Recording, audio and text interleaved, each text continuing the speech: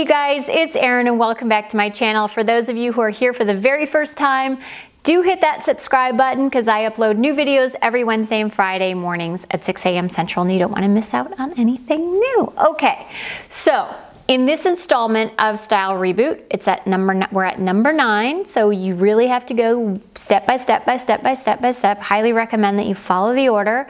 If you missed any, you can go back. Um, I created a playlist called Style Reboot, so you can easily find the other videos. So in number nine, I want to talk about closet organization. I've talked a lot about closet organization in the past over the years. I will put links to those videos below if you want more. There's plenty more. This will be a recap in a lot of ways of things I've already talked about, but um, with some new things peppered in there, um, new ideas and new tools that you might be able to use to help you with your closet organization. Okay, so let's get started with closet organization tips. The first tip is to have matching hangers. Matching hangers is a little bit of an investment. You have to pay for the hangers, obviously. I'm gonna put links below to my recommendations to make it easy for you guys. Um, the recommendations will be from Amazon, so if you have the Prime membership, you don't have to pay for the shipping, which is a big deal, especially when you're talking about something as heavy as hangers and you're like, well, how many do I buy? I don't know how many to buy. I always kind of guesstimate um, 100 hangers for about three feet of full hanging space. So um, if you're looking at your closet and you're like, oh, this rod looks like it's about six feet and it's really jammed um, and I'm not gonna edit it anymore, then I would do 200 hangers for that space um, and you'll have more than enough. So the hangers that I like are the clear plastic ones, just like you have in the store. I like my closet to look as boutique-like as possible, and this is what every boutique likes. Use what every boutique uses. So I like the swivel head, so no matter what direction you hang your garment, you can have them all facing the same way by just adjusting the head. Um, there's nothing more annoying than putting a a shirt on a hanger and then wanting it to go face one direction and then you have to take the shirt back off and put it back on. So the swivel head's a must. And then I think they're really thin. I don't care if I break them because, you know, you don't pay a lot for them.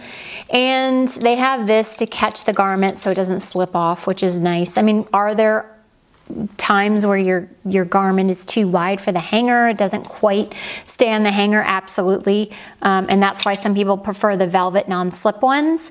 Um, but I stick with these. I'll put a link to the velvet non-slip ones below too if you prefer those. Um, but these are my favorite. And then you can also waterfall with these hangers. So if you have a really small closet space you put this through here. Like let's say you want to do three sets of pants you know, all in a row to save on that closet real estate. You can waterfall them like that, or if you've got a suit and you want to do the suit together, you can do that. Um, and then I use this type for pants and for skirts, and, um, and this type for shirts and for dresses. Number two is you're going to sort by type. And that can be whatever categories you want, whatever makes it easier for you. The key is to be able to find things quickly, easily not labor over it, not wonder where it is, not search for it, not waste time searching for it. The key to your closet is to save you time and money. When it looks like your very own little boutique and you're organized, it will save you time and money. So if you sort by type, then you can say, huh, I need a cami today and I know exactly beeline for the camis. I need a short sleeve top today and I know exactly where to look for that. I need a pair of jeans today. I know exactly where to go for my jeans. You need to have the types sorted out and you can decide how specific you want to get with types. For me, I have a bigger closet, I have a lot of clothes, so I do sleeveless, short sleeve, long sleeve. You may want to do sleeveless, short sleeve, three quarter sleeve, long sleeve. You know, whatever works best for you. I also do jackets, I do blazers, I do shorts, I do skirts, and then I put jeans in my drawers. Um, trousers, really nice trousers I hang up, but if they can be folded, I fold them. So you're going to determine based on your closet space and based on your preferences and based on your lifestyle, which categories, which types you want to delineate and organize your closet into. Then once you have your types sorted out, so you've got your hangers, your types, then you want to sort by color. So you say to yourself, hmm, I really need a black blouse today and I really want a black short sleeve blouse. You go to your section with the short sleeve tops, you pull out your black, you look in the black section and you know, okay, I have this option, this option, and this option. It's very, very quick and easy. So that's why it's so important to sort by color. Now, whether you go dark to light, like the KonMari method, or whether you go light to dark, whether you do some other crazy color system, is totally up to you. I like light to dark. I like to do the rainbow because I like to see the red and the orange and the yellow and the green and the blue. Plus it's easy for me to remember. So just come up with a system that works best for you. And if you're like, well, wait a minute, this is printed and patterned and it's kind of crazy and it's a mix of red and a mix of pink and I don't know where to put it, just put it somewhere. You know, don't like sweat those little details. Like just just get it in there, have it all look aesthetically nice, have it all sorted by color and type, and you're good. And those are the three primary things you need to focus on with organizing your closet. I want to get a little bit more into the nuances of organizing. So let's say handbags, for example. You're always like, oh, what do I do with these handbags, right? So for me, I do shelf dividers on the shelf and I do have built-in shelving. So that works really easily for me, the shelf dividers, and I put the bags in a, in a slot, in a slot, in a slot, in a slot on the shelf, okay?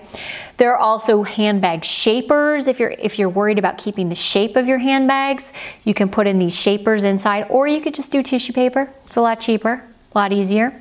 Um, you also could put dust covers over your bags for maybe the more expensive bags. However, then you may forget like it's there, although if you're like me and you only have like one or two expensive bags, you're not gonna forget that they're there. But if you have a whole bunch of them, you may forget, so you may not want to do the disc cover um, simply because you want to see the bags.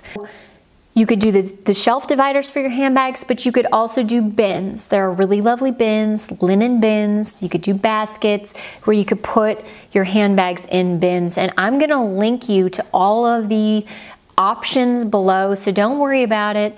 Um, I got you covered. It's all, it's like Amazon, Target, and Container Store links below, and then I'll put them over on the blog also. So that's one of the ways that you can organize, two of the ways you can organize your handbags. What about boots? You're like, ah, those tall boots, they always elude me. I don't know what to do with them. Well, there are there are racks where you can hang your boots upside down and keep them all organized that way. You can, somebody, one of you guys told me about this, you could put pool noodles in your boots to keep the shape. There are also boot shapers available at Container Store, believe it or not, um, and they're pretty inexpensive. I found some even, even less expensive plastic options at on Amazon. Um, I'll put that link below as well. And then, you know, how you organize them in your closet is up to you, whether you have built-in shelving, whether you need to get a shoe rack. I did put a recommendation below for a shoe rack that I think is very easy to assemble and also looks aesthetically nice because there's nothing worse than having some crappy shoe rack in your closet you want your you want your closet to look nice and that's the whole idea. We want it to look like a boutique. We want it to be this little oasis. So you don't want to throw in a crappy shoe rack that's going to break down um, in a year or be a nightmare to put together. So there's a very specific shoe rack that i recommend. I put it below. Um, it's not expensive at all so don't worry about that. You know, if you have a closet with lots of shelving up high, it's gonna be important for you to have a foldable footstool. Um, so you might wanna think about investing in one of those. Also, you don't wanna ignore your drawers. So your sock drawer, your underwear drawer, your bra drawer, you know, you got t-shirts in a drawer, you've got jeans in a drawer, whatever you have in your drawer, you wanna keep your drawers looking nice as well. You wanna still color code the drawers. I color code jeans. Yep, it's a little OCD, but I do it because I'll put light jeans in one row, uh, white jeans in one row, light blue jeans in another row, dark blue jeans in another row, black jeans in another row. Um, I'll even sort by like, is this cropped? Is this flared? Is this skinny? So you could really get more specific and detailed depending on how many you have, depending on how um, important it is to you. And then for your underwear and your socks, you can use those dividers. They're really affordable. It really, it's a game changer for those drawers. Um, and it makes it a lot simpler for you to find. Because again, with your underwear, you do go for certain pairs on certain days. Like you need a thong for a certain outfit, or you need nude underwear for a certain outfit for light pants, light skirt, light jeans. You want black because you're wearing a black skirt. So having those dividers just makes it again a little bit more seamless, a little bit easier, a little bit more efficient. So the dividers are great to have. Oh, and then I just did want to talk a little bit about jewelry, how to organize your jewelry. So I am of the mind that you have to have things on display to know that they're there. If you tuck them away and they're hidden and they're behind the scenes, then it's harder to know that you have them, you forget about them, and you don't use them and you don't wear them. So I kind of put all my jewelry on display in my closet and I use bracelet bars, they're called T-bars. I use the high T-bar for long necklaces. Um, I like the necklace stands for necklaces, like bib necklaces so that I can display them and see them very clearly. I use little ring stands for rings. I'll put some recommendations below so um, you guys can check those out if you're interested. Lastly, just wanted to mention, I did find a couple of really cool scarf organizers. They're hanging, so you would hang them in your closet. And then also belt. Um, there's the option of, you know, screwing it into the wall or the option of hanging it. So you're like, what do I do with all my belts? You can just hang them up right along, you know, side your trousers, or you can get the one that screws into the wall, maybe attach it to the wall and have it organized that way depending on your closet space. So those are some of the tricks and tips for keeping your closet really organized. Again, this is such a vital, important part of your overall style and your overall sanity. You know, when your closet is nice, aesthetically pleasing, organized, again, saving you time and money, saving you the stress and the heartache of, of not being able to find things. It's just, it's a game changer. It's really worthwhile. It's really worth investing the time to make it look pretty, boutique-like. Let me know if you guys have any questions at all. Again, I'm gonna put everything below. I'm gonna put everything over on the blog. It's gonna be nice and neat for you guys over there. So if you're like, ah, what did she say again about I don't know. I, I just didn't know what she was talking about. She was talking so fast because I think I was talking fast. It's over on the blog too, busbeestyle.com, so you can go check it out over there. Thank you guys again so, so much for watching. Let me know if you have any questions. Give a thumbs up to the video, and I will see you next time. Bye.